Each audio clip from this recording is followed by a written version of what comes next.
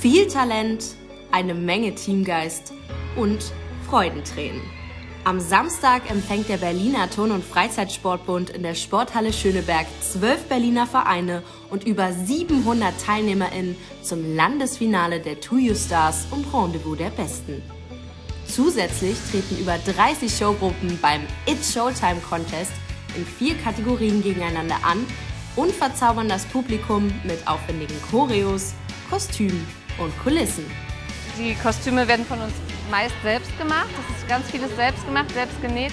Und die Mühe lohnt sich, denn der TUS Neukölln kann sich gleich in mehreren Kategorien des Show-Contests auf das Treppchen kämpfen. Wie ein Sieger fühlt sich heute aber jeder, denn viele genießen einfach nur den Auftritt als Team und die kräftige Unterstützung der Vereine. Und das ist ein tolles Gefühl, mit diesem riesen Verein so zusammen teilzunehmen. Die Atmosphäre ist einfach bombastisch. Die Teams geben alles und verzaubern durch aufwendige Akrobatik, gepaart mit Tänzen nicht nur das Publikum, sondern auch die Jury.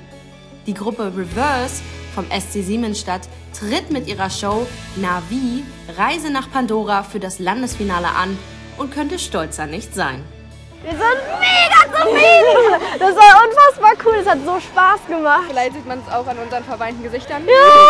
Ähm, ja, wir sind alle sehr stolz auf jeden. Alle haben durchgezogen und ihr Bestes gegeben und das war- ist das Wichtigste. Der SC Siemensstadt entscheidet das Landesfinale der Two You Stars für sich und qualifiziert sich damit gemeinsam mit dem SV Berlin Buch und dem TSV Spandau für das Bundesfinale. Die Sporthalle ist mit Euphorie gefüllt und der Berliner Turn- und Freizeitsportbund beendet den Wettbewerb mit einem ganz besonderen Highlight.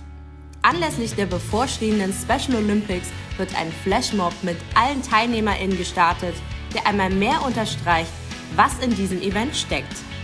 Viele Tränen, viel Talent, aber auch eine Menge Teamgeist.